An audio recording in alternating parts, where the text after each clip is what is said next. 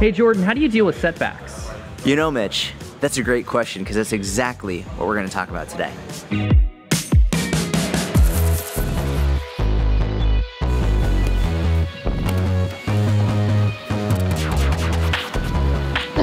All right,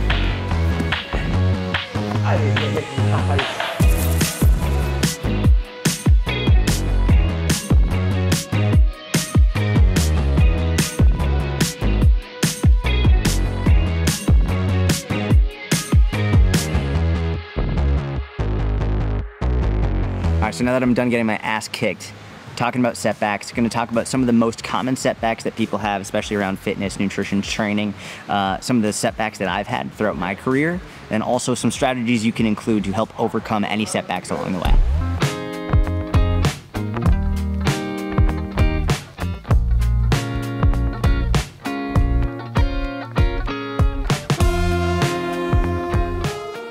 Eight weeks? Is that it? No. Six and a half weeks. 45 divided by seven. I'm a camera 6.4. so six and a half weeks. Six and a half weeks, Six yeah. and a half weeks. Okay, That's good. cool. Should we put that in? Let's put that in. Okay, so we're we're six and a half weeks into the into the mini cut, and as of yesterday and today, I'm about eight and a half pounds down. So uh, it's actually really interesting. I'll, I'll put a screenshot up here. Mitch will put a screenshot up here. Which, by the way, if you don't follow Mitch, go follow Mitch. We'll put his uh, his Instagram in the description of the video. But someone sent me a DM several days ago, basically saying like to the effect of I would have quit already because because I had like an 11 day plateau, right? My weight hadn't gone down in about 11 days. I hadn't seen a new low, and they're like, if I, if this was me, I would have quit already. And then literally the next day, I had a whoosh and I lost like a pound and a half. And this is so common with people where they quit right before they're about to see huge progress. And the way that I phrase that is super important, right before they're about to see huge progress. Because the reality is, odds are you're making progress, you just might not see it yet. And you're quitting way too fucking early. So after 11 days of not seeing a new low, boom, I had a whoosh, see a new low, and here we are. So about eight and a half pounds down in about six and a half weeks, and I feel really good. Like it's it's very simple. It's very straightforward. I've spoken about it before. Um, I'm I'm tracking my calories, but I'm not weighing and measuring. Okay, and I've, I've weighed and measured in the past, so now I can just eyeball. Um, so I'm eyeballing. I have a good idea. I'm having between like 1,800 to 2,000 calories a day. Training feels good. Sleep feels good. Uh, I, physically, I feel good. There is a little bit of hunger, uh, and as I get leaner, hunger has been increasing, but not so much to the point where I'm starving. And this is a, an important distinction to make. When you're in a calorie deficit and you're losing weight, hunger is normal it will happen uh, but you shouldn't be starving. If you are starving either you've reduced your calories too much and or you're eating like shit and not enough whole minimally processed fresh foods. So vast majority of my diet is just whole minimally processed fresh foods a lot of protein a lot of fruits a lot of vegetables uh, beans lentils nuts legumes all of that stuff. Still hitting my fiber every day. Uh, and then i'm drinking alcohol like probably four or five nights a week a couple of drinks and it's very relaxed. It's, it's a very simple easy cut. And i know a, a lot of people get mad when i say that but you have to keep in mind i've done this for years. Like I know how to do this. I've I've done this over and over and over again. And that actually brings up another point which I briefly want to discuss. Uh, I've had a couple people say, if this is sustainable, why do you do this every so often? Like why do you do this once a year? It's a really good and valid question. If this is sustainable weight loss, how come I do this every year? I'm gonna explain. Well, I don't think weight maintenance is staying the exact same weight forever. I think weight maintenance is having a range of about 5 to 10 pounds, and you can decide what that range is for you, but about a 5 to 10 pound range that you fluctuate within. So, usually on a year to year basis, I will be, I'll do, I'll start with a mini cut and I'll lose about 10 pounds, and then for the remainder of the year, I just relax and I don't count calories. I'm not in a calorie deficit. I'll slowly, slowly gain a little bit of weight up to about that 10, the top of that 10 pound range, and then boom, I, I lower my calories again. I go into a calorie deficit. So for about eight to 10 weeks a year, I'm in a calorie deficit, very slow, very steady, very sustainable. And then the rest of the year, I enjoy and I don't worry. And so for me, this is maintenance as opposed to what a lot of people do, which is they'll crash diet and then they'll gain all the weight back and more and they repeat that cycle and then eventually 3 5 10 20 years down the road they've gained an unbelievable amount of weight and have a terrible relationship with food whereas for me the, this way i can have a couple weeks every year like a couple months every year where i'm in a calorie deficit and then the rest of the year i just enjoy it and I relax and I go up to that top range. Once my pants start getting tight, I get things in control again, go back down, and it's a, a 10 pound range. So that's why I've been doing this consistently, and it works really well for me. You don't have to do it, but that's why I'm doing it. So, with that being said, let's get to the rest of the video.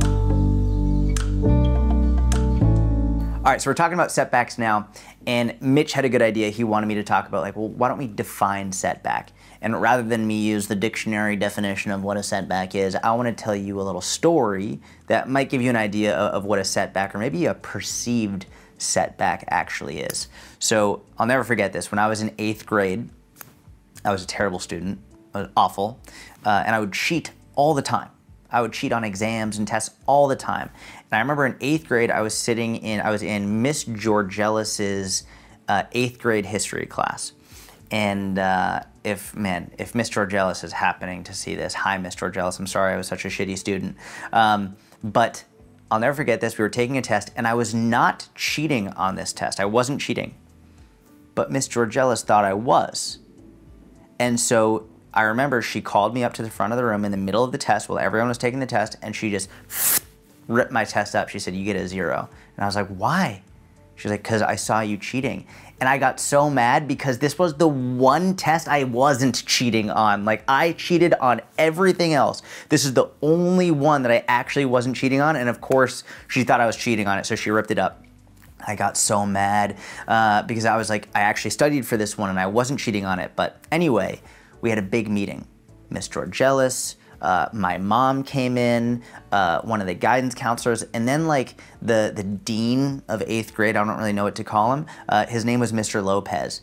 Huge dude. This guy was massive. He was the the coach of the high school football team. Just like a gargantuan man. Really nice guy though and he came in and we and we sat down and I was so upset. I was really angry. Uh, and I think I was angry just because this was the first one I wasn't actually cheating on and I was accused of cheating. And Mr. Lopez, he pulled me aside and he's like, listen, when we look at your whole year in eighth grade, when you look back at this, this is barely gonna be a blip on the radar. He's like, you're probably not even gonna remember much about this when we look at your year as a whole. And in that moment, I was like, yeah, right. That doesn't make any sense. Of course, I'm gonna remember this. I'm furious. I will always remember everything about this. Now, I can't even remember every teacher's name that was in the room. I can't even remember like the, what the test was on. I can't remember so much about that situation at this point. And by the end of eighth grade, like again, it was barely a blip on my radar. In the short term, in that one moment, it was huge. It was a massive spike. It took up my entire thought process. I was having phone calls with my friends and I was so mad about it. But within a few months, it was, it was nothing. It didn't even register on, in my head anymore. And now, many, many years later, like 20 years later, like I barely remember it at all. I just remember that one aspect of what Mr. Lopez told me, which is it's gonna be barely a blip on your radar. And that's what I want to talk about in terms of setbacks because I think in the moment, it's so easy to look at any number of things as like a huge deal, a massive problem, a huge setback. You're ruining all your progress. Who knows? Maybe you go out to dinner on a Friday night and you eat too much, or you go on a week long vacation and you gain uh, like 10 pounds, whatever it is. And in your mind, you're like, I ruined everything. Everything is ruined. But you take a step back a wider view, look at it from a year long, three year, five year, 10 year perspective, doesn't fucking matter. It's barely a blip on your radar.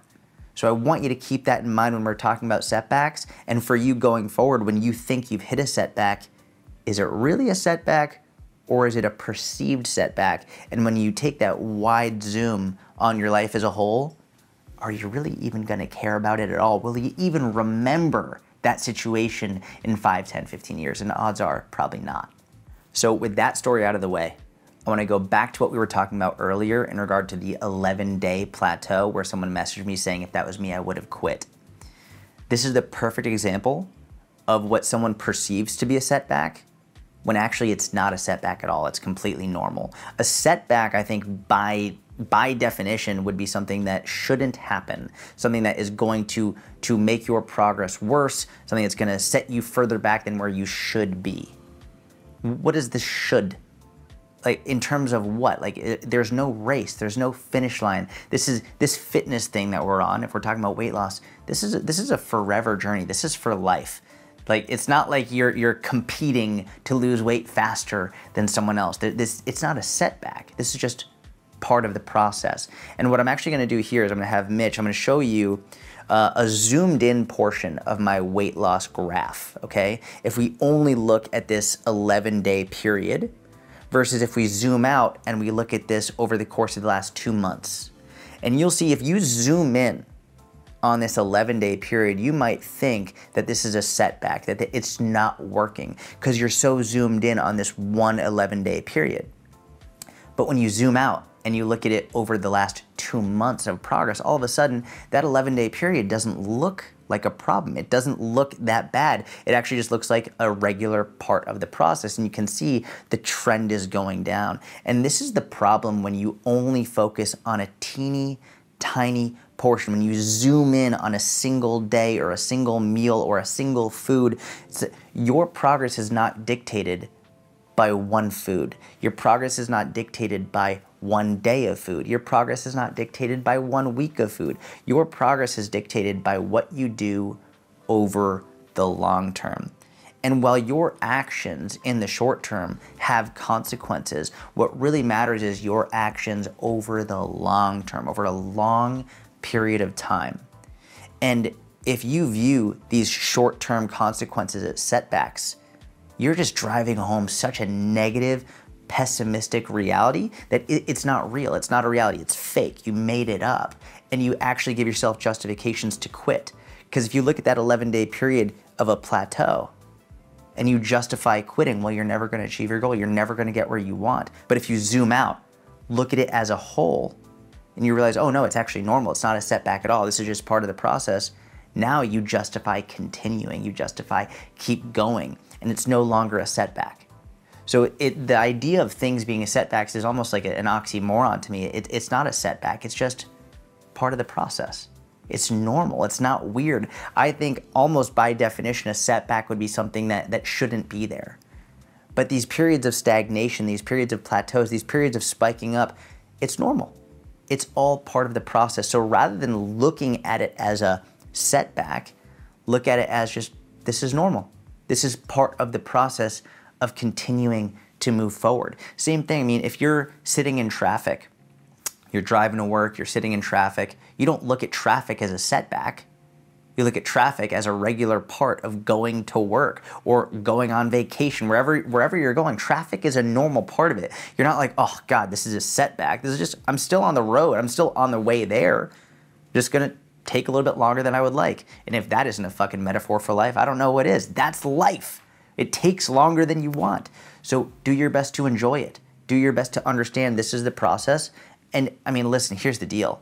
Like you can either enjoy it or not. And for me personally, I'm gonna do everything in my power to enjoy as much as I possibly can. One thing my mom would say to me as a kid, when I was, you know, a young kid, she would always say, listen, my best advice for you as a kid is you're only a kid once, so you might as well enjoy it. She was so right. I mean, listen, like it's a fact, you're only a kid once but you only live once too. So even after you're a kid, like, do you want to spend the majority of your life looking at everything as a setback, like it's not working? Or do you want to look at it as just part of the process and enjoy it to the best of your ability? Because I guarantee when you're 80, 90, 100 years old, if you're if you're blessed enough to live that long, you're not going to look back on when you were 20, 30, 40, 50 and be like, "Oh man, like I just I wish I lost that weight faster." You'd be like, "No, I wish I enjoyed that time more." In that process more and I stopped being so hard on myself. So stop looking at things as setbacks and just look at it as part of the process. Put a smile on your fucking face and enjoy it. Now, moving on from there, I have another story for you. I've got tons and tons of stories, which if you like my stories and you like listening to me talk, just leave me a comment down below. I'm needy. I need to know like that, I've still got your attention. You enjoy this. If you don't, if you don't enjoy this, let me know and I can do other stuff in future videos. But if you like the storytelling, uh, please let me know. It would actually help a lot so I have some better ideas of what to do. But anyway, I'm gonna tell you a story about my deadlift. And if you don't know, I deadlifted four times my body weight. I'm one of very, very, very few people in the world to ever do that. And I don't say this to brag, I say this just because it's a very difficult thing to do to deadlift four times your body weight. And I want to give you a, a insight into the journey of me getting there. So I deadlifted 530 pounds, weighing 132 pounds. Uh, to my knowledge, there's less than 15 people in the world to ever deadlift four times body weight. I might be wrong on that statistic now, but uh, very few people have ever been able to do that. And it's something I'm, I'm very proud of in terms of my accomplishments in my life.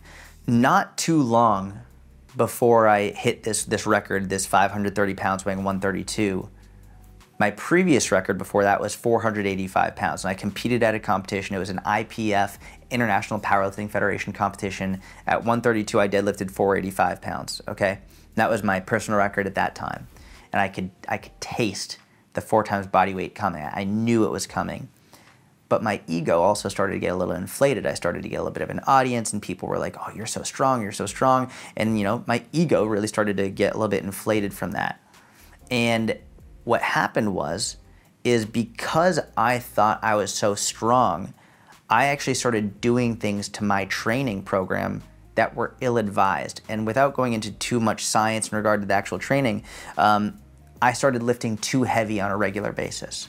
So I was doing a percentage-based training program that I was writing myself, and when I should have been lifting around 50 to 60% of my one rep max, I started to lift closer to 70 to 80% of my, my one rep max, which is a massive, massive difference and puts a tremendous amount of extra stress not only on my body, but my central nervous system.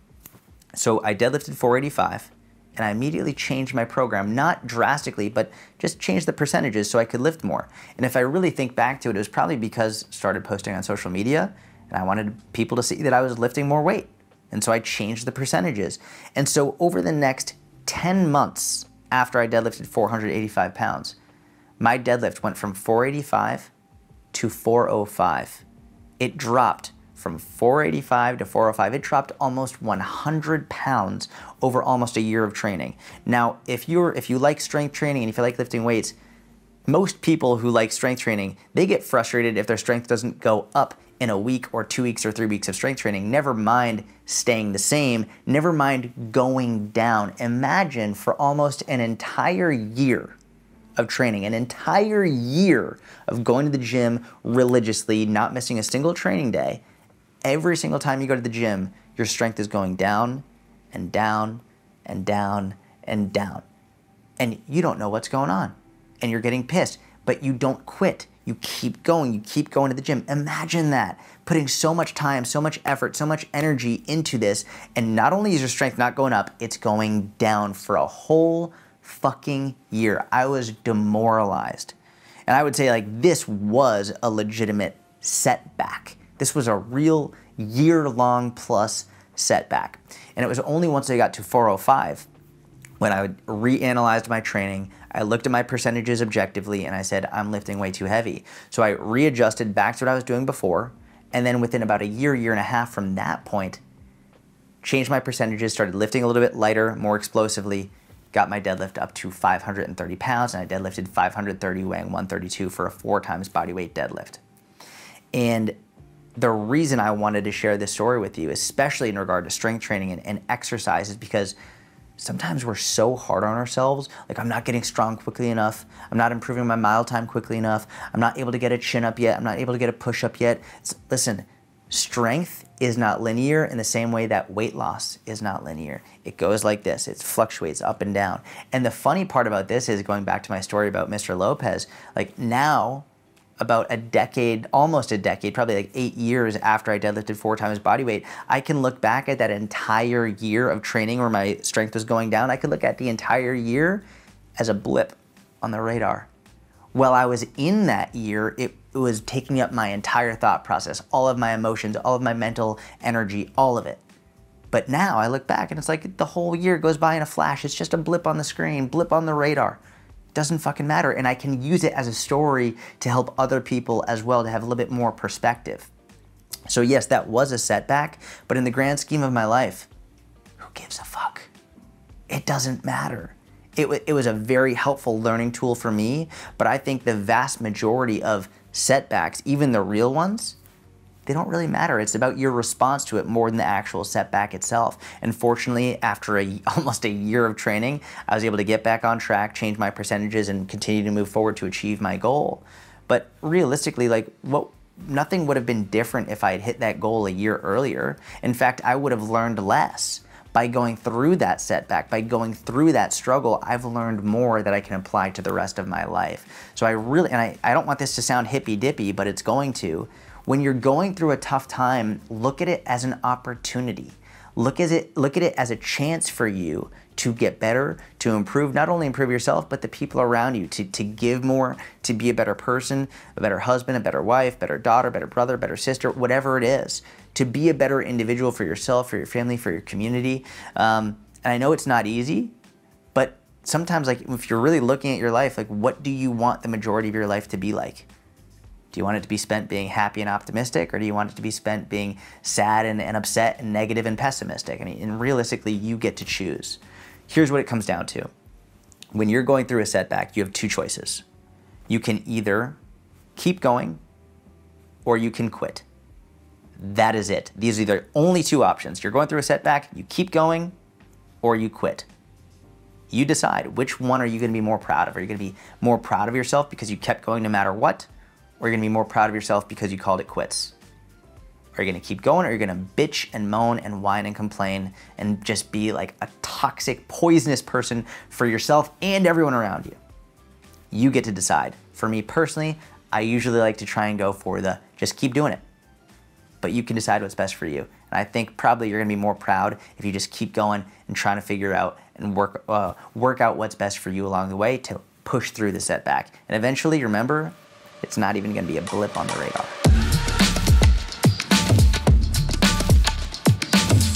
All right, about to do some cardio. We got some sprints on the bike today.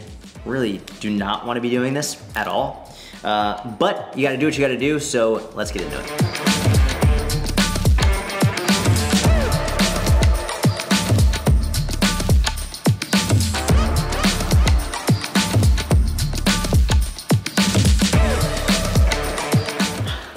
10 minute warm up is over. On to the sprints.